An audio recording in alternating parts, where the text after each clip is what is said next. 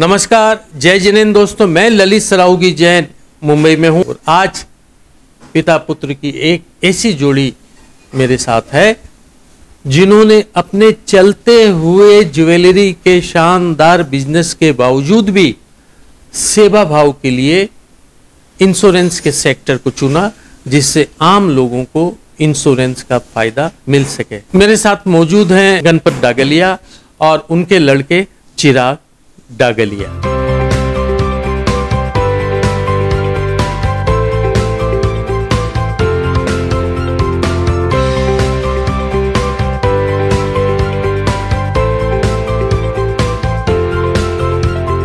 गणपत जी चिराग आप दोनों का जैन रत्न में स्वागत। धन्यवाद। गणपत जी मुझे जानकारी मिली कि आपका बहुत अच्छा ज्वेलरी का बिज़नेस है। तो फिर आप ये इंश्योरेंस के बिज़नेस में क्यों आ गए? मेरे पिताजी का मेन बिज़नेस ज्वेलर्स का था। मेरे भाई लोगों के साथ में भी ये ज्वेलर्स का बिज़नेस था।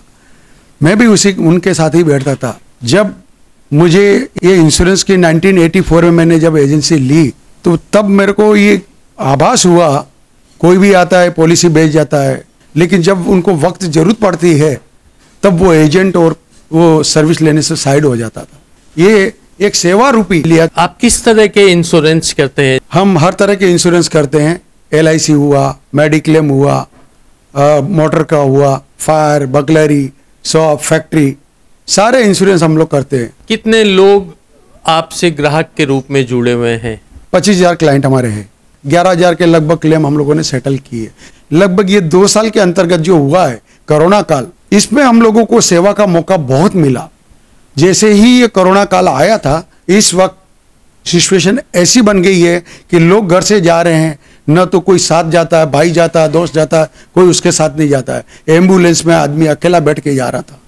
अब उस वक्त उनको ज़रूरत है हमारी मेडिक्लेम पॉलिसी की कि उसको कैशलेस सुविधा कैसे मिले ताकि उससे वो, कैसे अर्थ से दुखी न होवे और खाली इलाज का उसको टेंशन रहे। लगभग दो तीन साल के अंदर। ये अठारह से बीस करोड़ के लगभग हम लोगों ने क्लेम सेटल किए। सेवा भाव के रूप में आपने क्या काम किया? अनुभव समिति करके हमारी संस्था है। जब मैं अध्यक्ष था तो मेरी पूरी टीम थी। पूरे बॉम्बे लेवल पे हमारी उप समितियाँ थी।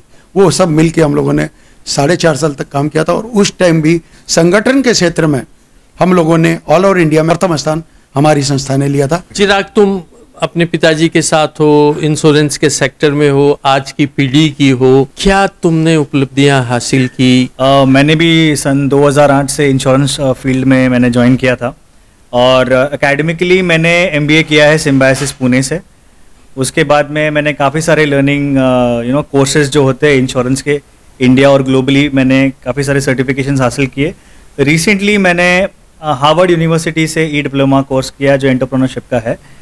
और इंश्योरेंस क्षेत्र की बात करूँ तो इसमें जो अवार्ड्स हासिल हुए हैं court of the table top of the table जो million dollar round table America के एक बहुत बड़ी संस्था है, जहाँ से ये सारे इंश्योरेंस क्षेत्र के जो वर्ल्ड वाइड ग्लोबल लीडर्स है, जो अचीव करते हैं इंश्योरेंस लेवल पे, उनको एक्नॉलेज किया जाता है। तो इंडिया लेवल पे मुझे वो सारी उपलब्धि मिली थी। सबसे कम उम्र में ये चीज़ हासिल करने वाला अचीवर मुझे अवार्ड मिला था। बहुत ऊँचे ऊँचे यूनिवर्सिटी कॉलेज से तुमने शिक्षा हासिल की चाहते तो कई एमएनसीओ में तुम्हें बड़ी बड़ी जॉब मिल जाती काफ़ी अच्छे पैकेज मिल जाते। पर ये इंश्योरेंस का सेक्टर जहाँ कहते हैं कि खुशामद करनी पड़ती है तो तुम इसमें क्यों आए?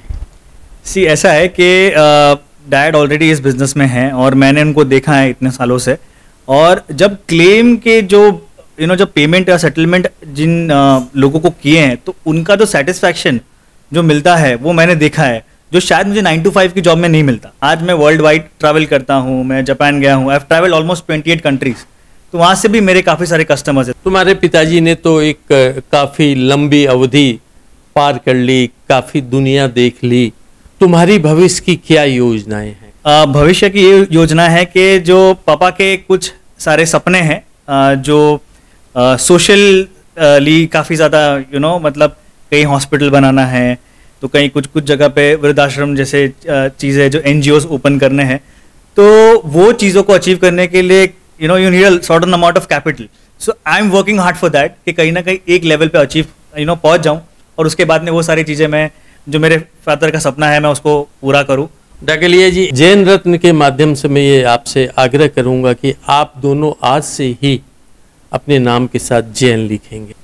गणपत जी और चिराग आप दोनों जैन रत्न कार्यक्रम में शामिल हुए। आप दोनों का बहुत बहुत धन्यवाद। Thank you thank you sir thank you आपने हमें इस योग्य समझा उसके लिए बहुत बहुत धन्यवाद। थैंक यू जय जिनेन्द्र। जय जी